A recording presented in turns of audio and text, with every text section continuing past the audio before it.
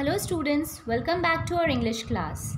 Today in our English class, I'm going to teach you a new lesson that is the second lesson of our Moments book. And the name of the lesson is The Adventures of Toto and the author of the story is Ruskin Bond. First, I will give you a small introduction of the author. Ruskin Bond is an eminent contemporary Indian writer of British descent. He is the finest writer of all times. His life in the Himalayas and the lonely childhood made him a great writer. The Indian Council for Child Education has recognized his role in the growth of children's literature in India. He wrote many inspiring children's books. He wrote his first novel at the age of 17 and his first novel was The Room on the Roof. Some of his notable works are The Blue Umbrella, A Flight of Pigeons, The Night Train at Deoli, Our Trees Still Grow in Dehra. He was awarded with Sahitya Academy Awards in the year 1992 and Padma Shri in 1999 and Padma Bhushan in the year 2014. He also received Lifetime Achievement Award in the year 2017. He has written over 500 short stories, essays, and novels. Some of his works have been adapted for television and films. Now, children, I will give you a small introduction of the lesson and then we will see the summary of the lesson. So, this is a humorous and adventurous story of a naughty monkey named Toto. The writer's grandfather bought the monkey from a Tonga driver. The pranks played by Toto have been narrated in an interesting way in the story. Now let's see the summary of the chapter. Adventures of Toto is an amusing story written by the famous author Ruskin Bond. In this story, he describes how his grandfather is fond of animals. And one day, children, he bought a little red monkey from a Tonga driver in 5 rupees and named that monkey Toto. His grandfather had his small private zoo in his house. Why? Because he was fond of animals. So he kept these animals in his private zoo in his own house. So he kept the little monkey in it. The narrator describes about Toto that Toto was an attractive monkey with sparkling means shining eyes. His teeth were white like pearls Pearls means moti. His hands were dried up, his fingers were quick, and his tail served as a third hand for him. Now, the grandma, uh, narrator's grandmother got angry whenever his grandfather bought a new animal to his zoo. Why? Because she was not interested in animals. So, Toto was kept in a secret place. Where was that secret place? It was a little closet. Closet means a small cupboard and it opened into the narrator's bedroom. Now Toto was kept tied to a peg means he was tied to a hook with a rope. But after a few hours the narrator found a change in his bedroom. What was that change children?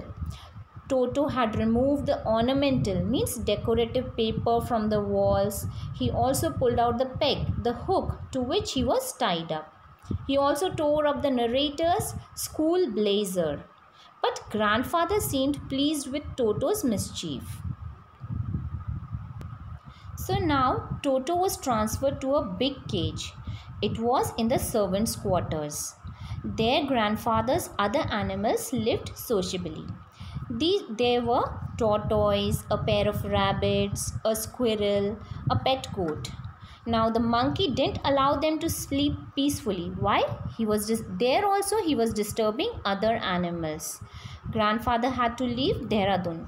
Now one day what happened? Grandfather had to leave Dehradun and he had to collect his pension from Saharanpur. So grandfather decided to take Toto to Saharanpur along with him. So he took a big black canvas kit bag. He put Toto into it and Toto couldn't take his hands out of this bag. Why? Because that bag was too strong for him to bite. Now Toto remained in the bag as far as he could reach Saharanpur. Now grandfather was coming out of the station so Toto grinned at the ticket collector at the gate. Now the ticket collector was taken aback. He was surprised to see the animal. He told grandfather that he had a dog with him. So what he did? He would have to pay 3 rupees as a fare for this dog. Grandfather argued with the ticket collector, but it was all in vain. Then to, uh, he thought Toto was not a dog. He had to pay rupees 3 for Toto's fare. Then grandfather told the ticket collector that he had his pet tortoise also with him. So he asked the ticket collector how much he should pay for it. Then the ticket collector said that it was not a dog, so there was no charge for that. Now, finally, what happened? Toto was accepted in the house. Then grandfather gave Toto a comfortable place in the stable. There Toto got Nana, the family female donkey, as a companion. But Toto continued teasing her. Uh, Toto was disturbing that female donkey. They could never become friends. Now children, in winter season, grandfather gave Toto a large bowl of warm water. It was for him to bath in it and Toto would check the temperature of the water and then he would sit inside the bowl. Then he would apply soap on his body and rub all over. When the water became cold, he would come out of it. Then he would run to the kitchen fire. There he would warm himself. If anyone laughed at him, he would refuse to bath. So one day, Toto nearly boiled himself alive. How? There was a large kitchen kettle left on the fire. It was kept to boil for tea. So Toto decided to remove the lid. He found the water warm to bath. He got in. Just then the water began to boil. Toto raised himself a little, but he sat down again. He continued jumping up and down. And at that time, grandmother came there. She took him out of the kettle and saved him. So Toto was a very mischievous monkey, means he was very naughty. Toto always made mischiefs. He tore things to pieces. He tore up the dresses of the aunt of the narrator. One day, the narrator found Toto eating rice and he was sitting on the dining table. Grandmother screamed when she saw Toto on the dining table. So, what Toto did you know? Toto threw a plate at her, and one of the narrator's aunt rushed forward then Toto threw a glass of water at her face. When grandfather came, Toto ran out with a dish of pulao in his hand. He ran up to the branches of the jackfruit tree and sat there. And from there, he threw the dish at grandmother when she screamed at him. So Toto caused much loss to the family. Dishes were broken, clothes, curtains, wallpapers were torn. The family couldn't bear all this. So at last grandfather sold Toto back to the same Tonga driver for only 3 rupees.